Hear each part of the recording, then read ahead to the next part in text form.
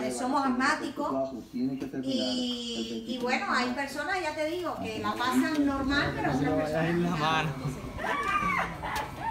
el problema es, mira, yo llevo en mi como más de 15 días.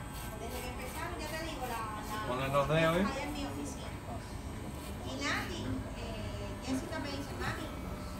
Tienes coronavirus, eso no es coronavirus, tienes que cuidarte, no puedes irte a un hospital, el problema es que tú